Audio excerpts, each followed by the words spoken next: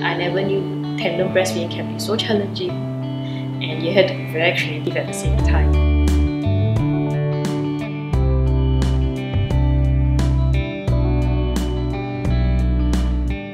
Hi, my name is Suzanne. I'm a mother of two. I'm 32 this year. So I'm actually breastfeeding my eldest daughter and my younger daughter at the same time.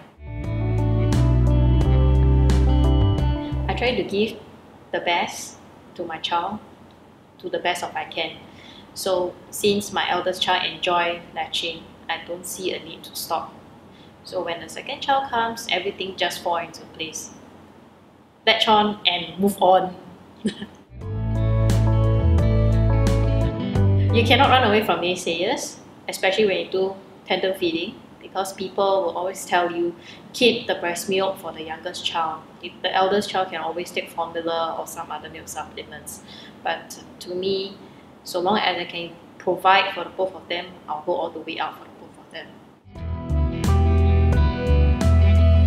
It's stressful, no doubt. Much, much worse than single breastfeeding because you have two children running after you. When they see you, they see nothing except milk bottles and you are with them all the time, uh, you won't have as much spare time as you have like in the past when you're breastfeeding one child.